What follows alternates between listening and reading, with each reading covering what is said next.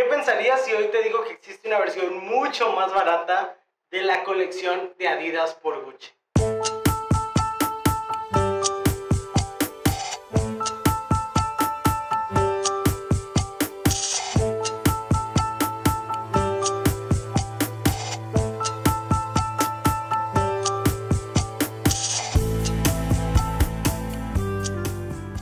Tal vez te mentí un poco al principio del video y no es tal cual una versión más barata o una colección más económica con la colaboración con Gucci. Simplemente es la misma silueta sin la colaboración.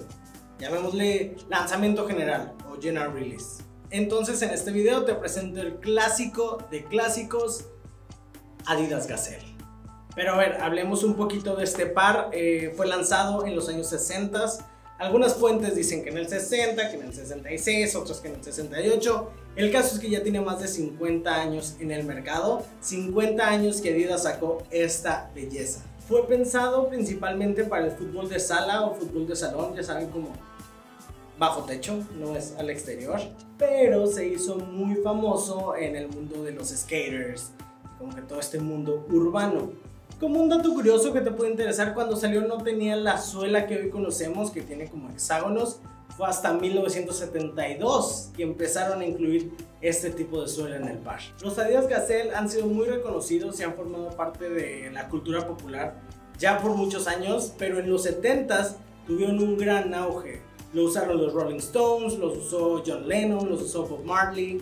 Pero uno de los momentos más icónicos y que más han trascendido de esta silueta, y esto ya es mucho más actual, en 1993 la supermodelo Kate Moss fue fotografiada por Denzil McNellans, McNellans McDonald's. Y esa misma foto, pero ya muchos años después, ya en tiempos de los que nos podemos acordar, que, ya a lo mejor algunos de nosotros estábamos en el sneaker game, no yo, yo tengo relativamente poco, pero muchos se acordarán de en el 2016 esa misma fotografía fue utilizada para un relanzamiento del Gazelle, donde Adidas dijo, vamos a ponerle atención a este par, vamos a ponerle atención a esta silueta.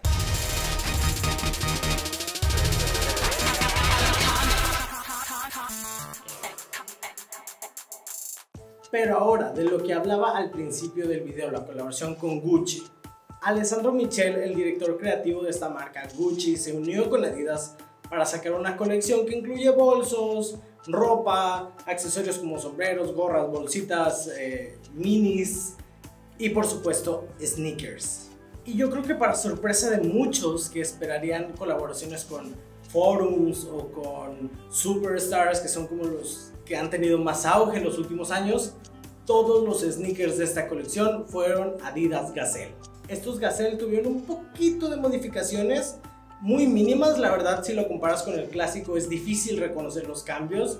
Fueron un poquito más bajos, la suela es un poco eh, traslúcida, que a diferencia de los Gazelle clásicos o los que más hemos visto, tienen una suela blanca y en color sólido. No se transparenta, no ves lo que está debajo de la suela o por adentro más bien dicho. Pero eh, los Gucci sí lo sacaron de esa forma. Obviamente, así como otras colaboraciones de Adidas con High-End, con Prada, con Balenciaga, pues bueno, esta colaboración con Gucci también manejó precios más altos de lo normal. No quiero decir muy altos porque tal vez para la marca Gucci no es algo tan alto, pero a lo que estamos acostumbrados en la marca de las tres rayas, sí fue muy alto. Según la página de Adidas, esta colección busca, y lo voy a leer, la colección presenta siluetas inspiradas en el estilo universitario y los elementos de clubes deportivos en colores retro. Y ahora hablando de cualquier Adidas Gazelle, no necesariamente con la colección de Gucci que no tengo ahorita un Gucci para mostrarte, te puedo mostrar este par que es el que yo acabo de conseguir hace poco, hace unos días me llegó. Pues vemos las tres rayas características de Adidas aquí en un costado. Como un dato extra que te dejo sobre la mesa, estas fueron las primeras siluetas de Adidas que empezaron a popularizar este estilo en el lateral del sneaker que a fecha de hoy, pues todos vemos un tenis de esta forma y sabemos de qué marca es. En el caso del par que yo tengo aquí en mi mano, la suela sí es un poco translúcida, no tanto como el Gucci, pero sí un poco. Y siento yo en lo personal que todas las marcas cuando sale un tenis muy exclusivo sacan uno parecido pero a un precio más alcanzable. Y es lo que yo creo que sucedió con este modelo. Buscan seguir usando la suela translúcida, el upper como de una gamuza muy fina, muy elegante. Por la parte de atrás tenemos un refuerzo en blanco que combina con las tres rayas. En el caso de Gucci es como una piel que dudo que sea piel, creo que el par es como muy sustentable y busca eh, cosas ecológicas, pero junto con la lengua de este par te da una sensación de que tienes un sneaker premium o que compraste algo de mucha calidad. Específicamente este par que yo conseguí es del colorway Bluebird como pájaro azul, que si no me equivoco es el mismo nombre que tienen como el, el traje deportivo de Adidas clásico, el azulito, el celeste. Creo que se llama de la misma forma. Y de hecho en la colección de Adidas por Gucci existe un colorway muy parecido, solamente que tiene ahí unos detalles en amarillo, las, la parte de atrás es un poquito diferente y bueno, los cambios que ya habíamos mencionado. Mi par vino con unas laces extra en color blanco que yo creo que hacen destacar un poquito más el par, que no sea tan plano, llamémoslo así. No sé si en todos los Gazelle sea el mismo caso, pero en el mío pues sí trajo unas laces extra. Este par yo lo conseguí en la página de Lost, me costó 2.999, que es en realidad lo que están rondando la mayoría de los Gazelle. Andan entre 2.000 pesos y 3.000 pesos mexicanos, que para mí valió mucho la pena la inversión al ver la calidad de los materiales y más comparándolo con los 17.200 que cuesta eh, un par de Gazelle de la colaboración de Adidas por Gucci.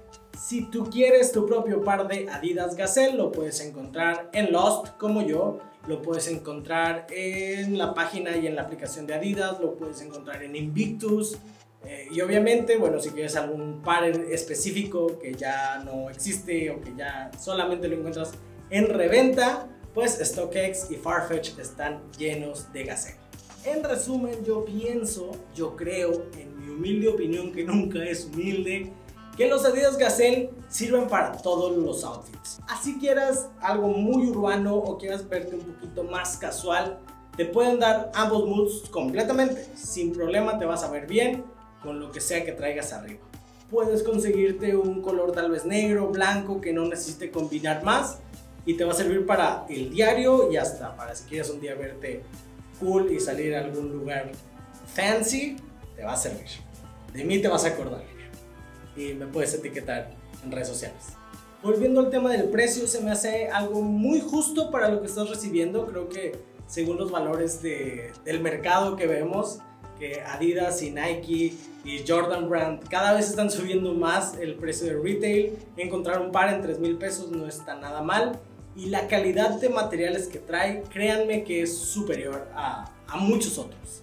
No se van a repetir y en cuestión de comodidad no deja nada de ver es muy cómodo. Este yo no lo he usado, eh, me lo probé. Fue muy cómodo, no lo he usado un día largo porque lo quería tener limpio para este video.